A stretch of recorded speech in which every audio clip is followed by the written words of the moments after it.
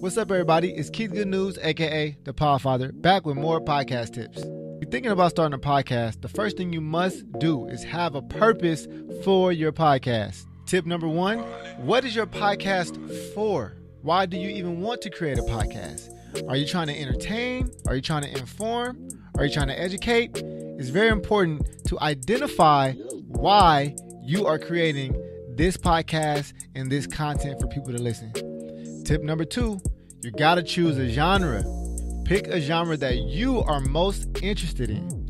It can be sports, it can be parenting, it can be video games. Just choose a genre and make sure you stick to it. Tip number three, have a niche.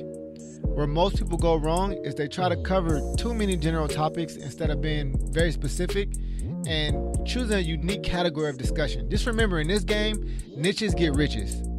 Big number four, do not have a podcast just to have a podcast. It is important that your podcast has some direction and is there to fill a void. And remember, talk to your listeners as if they were across the room from you.